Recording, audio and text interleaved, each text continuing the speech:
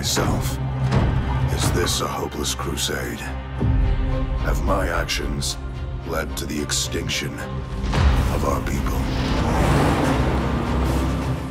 Hello, and welcome to something that's uh, kind of new, but also kind of old. I am Jeff Arbuckle, co host of the Film Seizure podcast. And uh, if you have been listening to our stuff for uh, these many months that we've been together, then you probably uh, remember uh, in that simpler time that was earlier this year before uh, the COVID 19 pandemic. Uh, something that we used to do here that I kind of started uh, in 2019 called Film Seizure at the Movies. Well, uh, it's kind of hard going to the movies these days, isn't it? So, uh, what we've decided to do is to do something called Film Seizure Streams the Movies because pretty much everything is now streaming. Uh, so, uh, I'll talk a little bit more about what we have uh, coming up with that. But uh, before we get into this uh, this discussion of an 80s property that has been resurrected, I want to uh, do a little bit of housekeeping. Uh, new episodes of Film Seizure every Wednesday. That's with myself, Jason Oliver, Chuck Moore. Uh, we are currently uh, finishing up our month long look at the Star Trek movie sequels. So, uh, Star Trek 2 through 6. Uh, we just finished that up. Starting the first week of August, we have uh, an episode on The Prestige. So be sure to check that out. Every Monday, you can go over uh, to filmseizure.com and uh, listen to me talk about a monster movie with Monster Mondays. And then uh, Saturdays, I am uh, doing uh, Double O Saturdays where I write an article about uh, either a James Bond movie or uh, the musical motifs of a James Bond film. So that is still going throughout the rest of 2020. Uh, you can hear all of that stuff over at uh, filmseizure.com. You can go to SoundCloud, Spotify, uh, Google Podcast, uh, Apple Podcast, uh, TuneIn. we upload stuff to YouTube uh, and Stitcher. So, pretty much uh, a wide array of where you can get our stuff. So, uh, let's talk about Transformers War for Cybertron trilogy. Chapter one, Siege. Uh, that's a that just rolls right off the tongue, right? Um, so a couple of things here. Uh, an earlier episode of Film Seizure, going back uh, to the summer of 2018, I believe, one of our more popular, most listened to episodes, we did an episode on uh, Transformers the movie. Now, I grew up a huge, huge Transformers fan. I uh, had several of the of the uh, toys. I had I actually liked Transformers far more than I liked GI Joe. Um, I was probably in the minority on that. I think. Uh, I know a lot of people who preferred GI Joe. Now I'd watch GI Joe here and there, and I usually watch it because it was, I think, the lead-in to Transformers. They they followed one followed the other. I don't remember exactly which one, but uh, I I was a huge Transformers fan. It, it fit my sensibilities. Uh, it also didn't hurt that I positively loved the Marvel comics for Transformers. Uh, I felt like the comics were so much more mature. And I I'm sure I talked about this with the um, Transformers the movie episode that we did, but uh, this uh, uh, it, it was just one of those things where it's like the comics had the opportunity to delve into uh, much more of the lore and some of the inner thinking of some of the characters that you didn't quite get to have on the TV show, just because the TV show had to be geared for two things one, a relatively young audience, and two, uh, to make sure you were selling those uh, selling those toys. So, uh, but regardless, uh, I, you know, to be honest with you, until more recently, I had not really gotten back into uh, the Transformers uh, universe, if you will. Uh, but that kind of changed with the toy line that came out that uh, started in 2018 to accompany this series that's just started on Netflix on July 30th. Um, so there was this series called the Transformers War for Cybertron. The first series was Siege, which is the first chapter of this trilogy. Um, and, uh, you know, that really got me back into the toys because it was really kind of seemingly a nostalgic take on um, a lot of that, what they call G1, that, that first uh, five years or so of the toys, and really kind of uh, spotlighting uh, some of the things that made those characters aesthetically uh, pretty great for me. And I, you know, in in the time, I've really kind of gotten back into the lore, really kind of gotten back into um, you know, watching the TV, the old TV show, uh, even taking an interest in some of the Japanese shows that came out right after the original series, and uh, you know, it, it was just uh, one thing I've always realized about Transformers is is that oftentimes the aesthetic is what I am most nostalgic for, not necessarily the TV show and not necessarily the actual real toys. But that being said, uh, oh, you know, now over 35 years later, there's a lot of things that they're doing with the toys that they couldn't have done back then. And uh, the mechanics of it is is uh, something that's a lot more appealing to me. It's a lot cooler. They uh, the toys can now look like the characters on the TV show, uh, and they can transform similarly. And I've got more to say about that here in just a moment. But generally speaking, it was uh, this War for Cybertron trilogy. Uh, that really kind of got me back, really back into Transformers. Um, the main reason why I really kind of fell out of it, um, and it's important for me to kind of talk about this because of what this show and um, one other piece of Transformers media has really, really done well. But the reason why I really fell out of it was was that uh, by the time you got into Generation 2, which was the mid 90s, and then getting into Beast Wars, which was a, a huge departure uh, of the from the original aesthetic, I really kind of felt like I didn't really know the characters all that well. I didn't. Um, I didn't really take to them being overly uh, stylized in the 90s uh, for the generation 2 i didn't really care much for them having uh, beast modes uh, basically robots turning into animals uh, that they had in the beast wars and by the time that the new millennium came around uh, the, the series was kind of you know, uh, well, most of it was coming from Japan, and a lot of it was targeting very young audiences. And when there were when new stuff would be created over here it didn't it just didn't fit my sensibilities. Uh, there are some places where i was absolutely wrong about that. Uh, transformers animated as i've recently discovered has been a wonderful fun little show. Um, but it is still aged downwards. I had never really outside of the marvel comic and maybe some of the comics that idw has done uh, for the better part of the last what 10 or 15 years now. Um, I, I, never really got much out of movies or TV shows or anything like that that really fit that more mature feeling, that more um, uh, the the feeling that I connect to with Transformers. So now, uh, with this War for Cybertron series that came out from uh, Netflix uh, that's really kind of reignited a lot of this. Um, the the the first inkling that I had that maybe maybe Transformers is something that I can get back into uh, was the Bumblebee movie and and what that was 2018 I think uh, right at the end of 2018. Um, so you know, uh, the Michael Bay movies, the first one was fine for what it was. Uh, the second one was, um, eh, to use a uh, to use a term loosely, it was dog shit.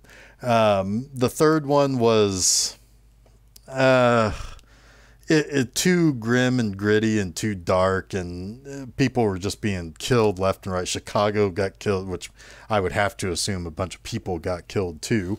Um, it just and I didn't see the fourth or fifth one. Um, so at that point, I thought, well, boy, Transformers seems to have kind of lost its way big time with me. Uh, but then the Bumblebee movie came along, and I thought, wow, this feels like home. Set in the 80s, uh, you know, it's got recognizable characters looking recognizable to me. I just really liked it. Um, and then the Siege line came out right around the same time, or started to come out right around the same time, and I found myself really being drawn back in. Um, so uh, we had to keep kind of waiting for this series to come along, and I don't remember what all of the uh, hangups were. I don't know if they were trying to get all three chapters of the trilogy completed before they released the first one. Uh, I'm not sure, but uh, it took a long time to get here to the series being released today. But um, I was a little surprised to hear that uh, some of the people, some of the Transformers uh, YouTube channels and stuff like that, was a little bit more cautious than I was about it being a, a, a good show. Um, so I'll get to a little bit more about that here in just a minute. But uh, this show really gave me a lot of what I wanted. Uh, right from the get go, I felt like this was uh, the right place for this to start. This is essentially taking um, everything that we saw in the first few pages of that Marvel comic in 1984, or the first maybe 20 minutes or first, I don't know, 15 minutes or so of the first episode of the 80s TV show and really kind of expanded upon it and aged it up a little bit. Uh, this show is not really for kids as much as it is for the parents of the kids who grew up on this stuff. Uh, this show is a little bit more, um, it is darker. Uh, it is something that uh, does have a lot of grim uh, outcome because uh, this the the tone of this show is set during a horrific civil war.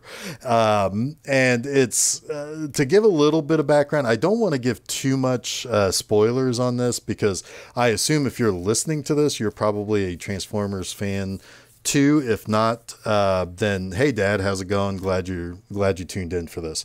Uh, but I don't want to give too many spoilers because I have a feeling a lot of people are going to be spending the weekend watching this and um, getting into it. The one piece of advice I would give is uh, try to stream it from start to finish uh, because this mo- this these six episodes are built to almost be a two hour movie. Um, so it's you know it's it's broken up into six chapters, but they they lead one right into the next one. So it's really just a two hour movie, and I would recommend you watch it all. You know, you watch it like that. Uh, but the the background of this is is that. Um, Megatron and the Decepticons have already essentially won the war. It's a war of attrition at this point for the Autobots. Um, and where this all comes from is that the uh, is and it, it kind of goes into some stuff that's been explored in maybe some of the shows in the past, but certainly it, has been explored. I think more in the IDW comics over the last several years. But uh, the Autobots were a ruling class. Uh, on Cybertron, they were not particularly great or kind. They were very um, aristocratic, I guess would be the, the way to say it. Um, and they more or less used the Decepticons as slave labor and as gladi- uh, gladiators uh, for their entertainment. Uh, Megatron led a rebellion and basically overthrew the ruling class. Um, now, the Autobots that he is trying to squash out aren't the Autobots that ruled. So there is a little bit of a paradigm shift here. You know, the Decepticons were the uh, were the ones that were basically in chains. Now they're the ruling class, and they just want to eliminate the Autobots, more or less. There's a little bit more to that than uh, than what I just put, but uh, that's really the setup. And the Autobots are not in great shape. Uh, they are not warriors. They've never have been. That that goes back to the to the 80s um, to the very beginnings, the very roots of the show. The Autobots uh, on the original TV show uh, often said, "Well, we've never been uh, we've never been fighters. We've always, you know, they've always been people who have been um, more of the uh, of the kind-hearted people." So now you have this uh, you have this war where the Autobots are underpowered and they don't have the the killer instinct that the Decepticons do. Um, and you know all of the really for the most part this series is pretty much populated by the the popular characters you have your optimus prime you have wheeljack you have um, bumblebee you have ironhide and prowl and all those people are on the autobot side and over on the decepticon side you have you know megatron of course you have starscream um, you have Shockwave, Soundwave, all those popular guys that so they're all here. Everybody that you would want to see are here looking like you want them to look like. If you're a fan of the original G1 Transformers uh, and the and the series from the 80s, I think you'll appreciate the look and um, attitudes of some of these characters. Uh, Starscream, of course, is duplicitous. Uh, he actually has uh, a lot uh, a lot to do in this uh, as far as his scheming and his treacherous ways.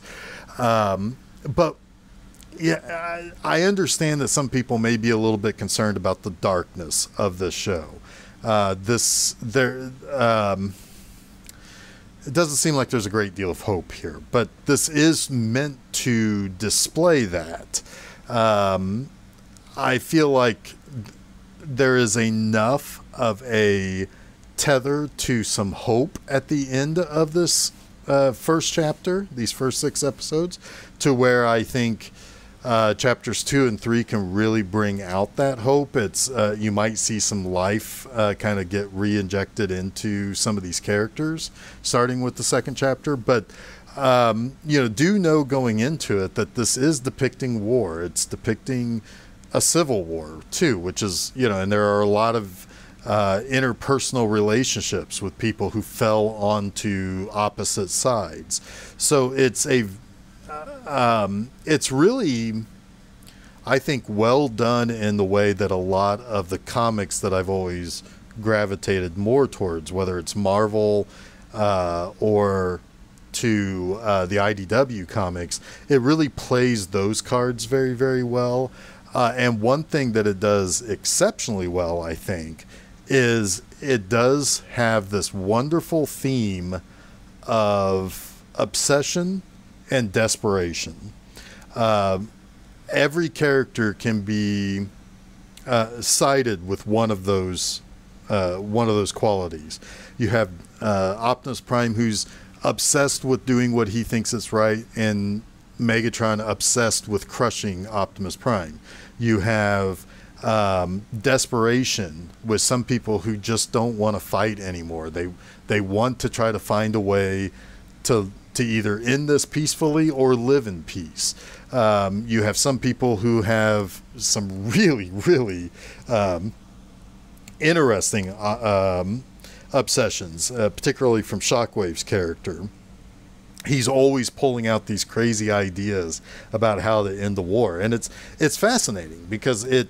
Um, it, it really shows that you get to a certain point in a battle that sometimes you do forget what it is that you're fighting for, and you sometimes do forget, uh, you know, that what you think is right may end up getting other people hurt.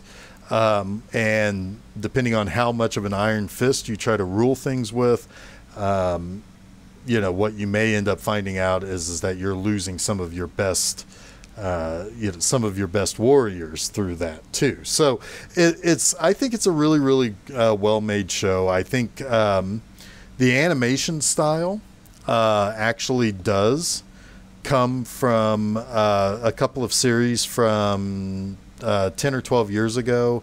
So there is a, a, a, nice connection to where you have people working on the show that understands the series, understands the concept of Transformers. Um, one thing I really like about the animation style is that um, you really do seem to feel the weight of these robots uh, as they're walking or as they're fighting or as they're transforming, you really kind of feel that weight of them.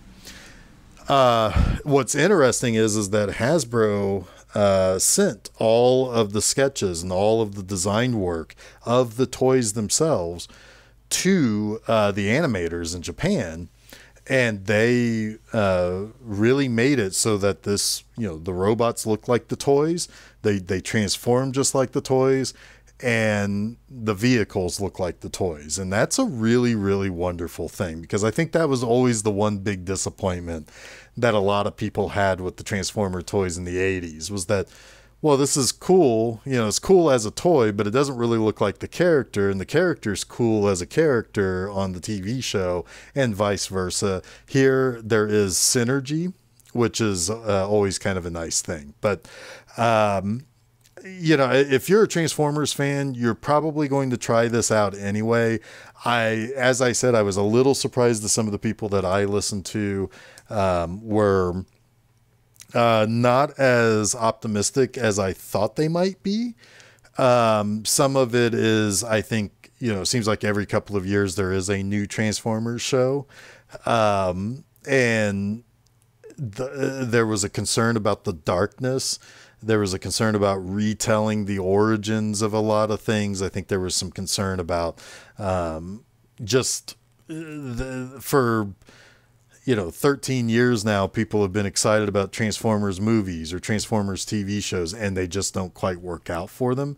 Um, thankfully i've been mostly missing from all of that. Uh, so it's not like i've had a lot of disappointment that has uh, that has proven to be a, a, big problem for me. So I very much liked it, uh, it you know, and I think I think a lot of people are going to say, well, it's not quite perfect. Uh, it'd be nice to see uh, Cybertron not be you know dirty and and raining all the time and cloudy and all of that. I'll give you that. I'll you know, granted, I I will give you that, but. Um, but is it perfect? No, but I don't think this I don't think anything that's got Transformers name on it is ever going to be perfect unless they completely and totally uh, just do the the original cartoons over again. I think that's why we can never really say, oh, this will, uh, you know, this thing is, you know, this new thing is perfect, or this new, you know, version of this thing that we love from the past is perfect. Is because we're always going to compare it to the original. Uh, I really didn't so much do that, but I was pleasantly surprised how much uh, I did see in the show that I thought, oh yeah, I remember that from you know 35 years ago or whatever. So uh, I think this I think this show does its job well to try to uh, do the best it can as far as to give uh, something new to jump onto, but also give all of us old fogies that grew up with the stuff uh, a lot to hold on to too. So I definitely would say if you're a Transformers fan, give it a shot. Um, if it's not really your thing, then I, I don't blame you for that either. Uh, to me personally, though, I do like it, uh, and if you do watch it. I would just plow through the whole thing because it really is just a two hour movie uh, that's been broken up into six chapters. So just plow through it.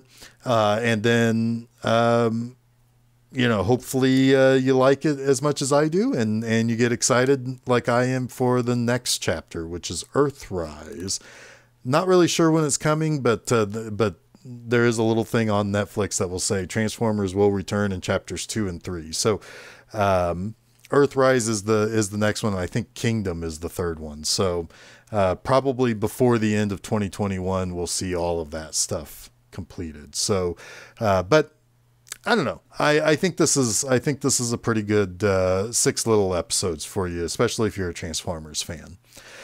Um, so coming up here, as I had mentioned, um, Jason, Chuck, and myself, the three of us who do uh, Film Seizure, you know, we had tried to figure out, well, what can we do to um, do something that's along the lines of Film Seizure at the movies?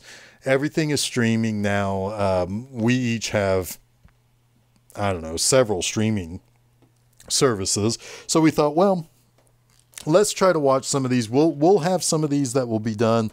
Uh, we will be doing some coverage of uh, Fantasia again, which is the um, film festival that runs for a couple of weeks. I think that starts uh, about mid August or so. So we may do some of those reviews like this. We may do mostly uh, written ones. I, it's not really sure quite yet on that, but stay tuned for that. Uh, but yeah, I would just keep uh, going over to filmseizure.com, uh, see everything that we have coming out, see everything that we're doing on there. Um, and like I said, we will have some more of these film seizure streams, the movies, coming very soon. Uh, additionally, uh, you can go over to uh, Twitter and to Facebook and follow us uh, there. We're, just there as Film Seizure. If you search for us on Facebook that way, you'll find us. Uh, Twitter, we are literally at Film Seizure. So, uh, so go over there, follow us. Uh, let us know what you think of of this Transformers War for Cybertron trilogy, Chapter One Siege. All of that, I think, is part of the title. But uh, let us know what you think of it if you saw it. Uh, what you liked, what you didn't like. It's all valid. You know, your your opinions are absolutely valid as much as anybody else's. So if you didn't like it, uh, feel free to let me know why. Uh, but uh, so, like I said, you can find all of our stuff uh, by just going simply to filmseizure.com, SoundCloud, um, Stitcher, Apple Podcast, Google Podcast, um, TuneIn, Spotify and you can even find us over on uh, YouTube. So uh, check out those new episodes of Film Seizure on Wednesdays, new episodes of Monster Mondays, Monster Mondays, and uh, we'll sprinkle out some of these uh, Film Seizure streams, the movies, when we have some stuff to talk about. But uh, so until the next time, uh, don't forget to save me the aisle seat or the end of the sofa, if it were. Yeah, either one's fine. This is the final day of the Autobot resistance.